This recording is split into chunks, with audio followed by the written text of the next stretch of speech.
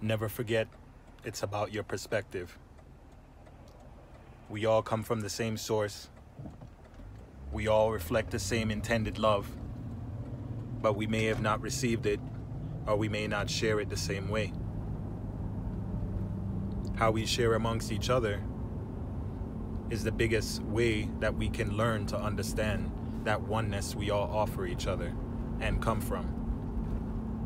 Like the term namaste, let the light in me see the light in you. We are one.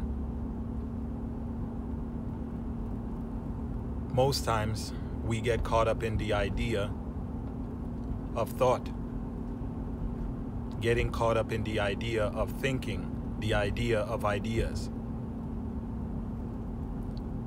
But what I've learned over the space and time within this meditation is to always learn and try to be that who witnesses. To be that who witnesses means you must also be aware that you observe the one who sees and thinks. Let me explain. When you ask yourself, what is water? You are asking yourself, what is water? So there's a voice in your head asking yourself, which now creates the perspective of duality or separateness, maybe, or two of you. But you're asking yourself, what is water? That which witness the witnesser is watching you ask yourself that question. So if I say witness or ask your, or ask you, who is witnessing you ask yourself this question? The question of what is water? That is what you should be. That is what I try to be. That is what I learn and train and meditate to be because it allows me to be in the perception and the perspective and the moment of now. It allows me to also realize that I am not on a journey, I am in the moment.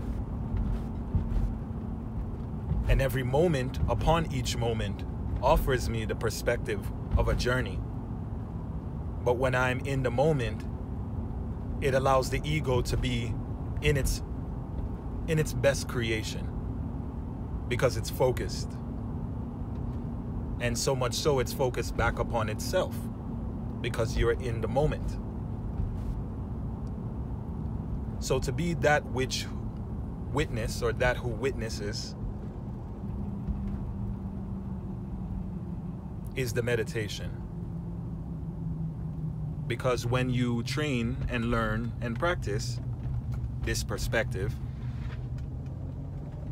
you can then see that in everyone, in all of us. You can see how important that is for all of us. And how, when we reflect that perspective of life is good, it's okay, it's not about getting it right. You can't, there's no, there's no end to success. So getting it right truly is not 100% right, but maybe it be right like an angle in regards of perspective, not right as in the opposite of wrong.